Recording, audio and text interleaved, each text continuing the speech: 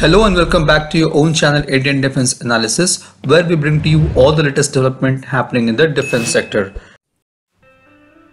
The Quick Reaction Surface to Air Missile QRSAM is the last point of multi-layer defense system against aerial attack which makes it extremely critical defense system.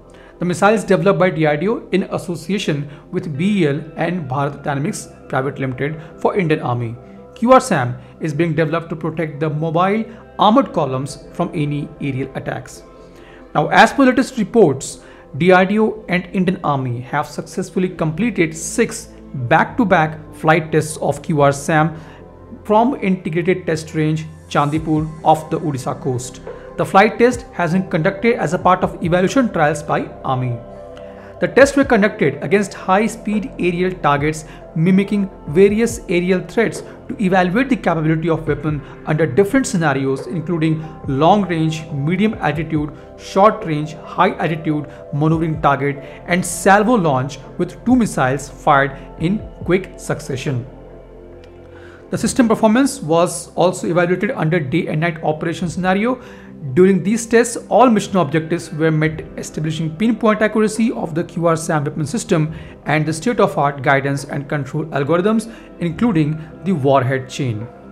These tests were conducted in the final deployment configuration, consisting of all indigenously developed subsystem, including the missile's indigenous RF seeker, mobile launcher, fully automated command and control system, surveillance, and multi-function radars.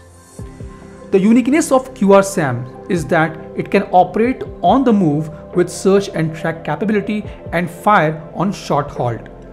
This has been proven during the mobility trials conducted earlier. QRSAM is a solid fuel propelled rocket which can be mounted on a truck making it compact and highly mobile. It typically has 6 tube launcher mounted on an 8x8 Ashok Leyland or Tata Motors heavy mobility vehicles. These missiles features two 4-volt active phased array AESA radars providing it 360 degree and all-round protection. It is integrated with mid-course inertial navigation system with two-way data link and terminal active seeker. This provides the missile capability to search and track its target while moving. The laser proximity fuse ensures that the missile cannot be jammed.